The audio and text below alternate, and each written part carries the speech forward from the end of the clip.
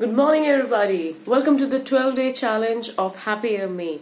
We're just 12 days away from Diwali, and I'm totally excited to look my best, my fit, the most happier version of myself this Diwali. So, we start with the continuation of the second week routine, the 12 day we have planned.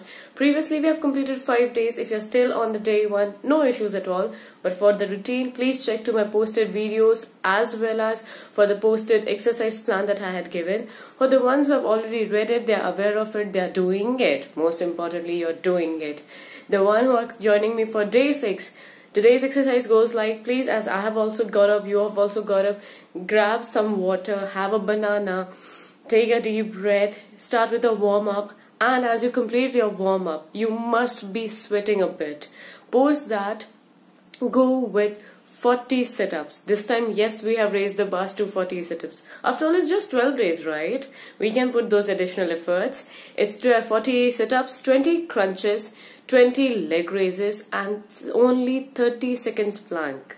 Yes, just 30 seconds. You can easily do it. If you cannot do it 30 seconds, go with 15, take a break and then continue with the next 15. After that, take a lot of rest, go with the right stretches, breathe a lot and relax have a great day. Let's begin our day 6 of the 12 day challenge.